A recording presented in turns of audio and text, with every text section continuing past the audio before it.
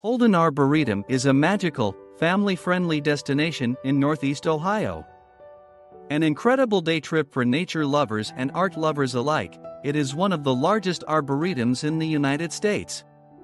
There are over 3,600 acres to explore, 600 acres devoted solely to gardens, picturesque ponds, educational opportunities for guests of all ages, and miles of hiking trails.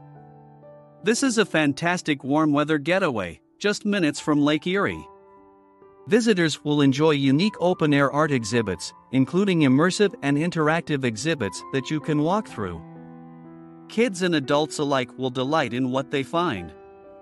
There are spectacular scenic overlooks with beautiful views, especially fantastic for photographers, and a terrific canopy walk that allows guests to enjoy the arboretum from above.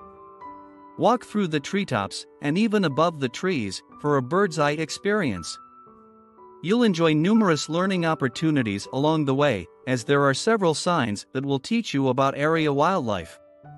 A visit here means spending time in nature, enjoying something special, and making memories to last a lifetime.